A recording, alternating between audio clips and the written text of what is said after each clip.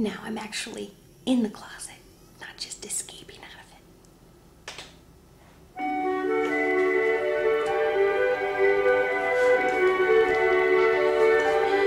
On my own, pretending he's beside me.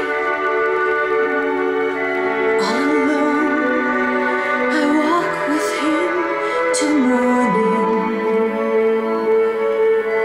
Without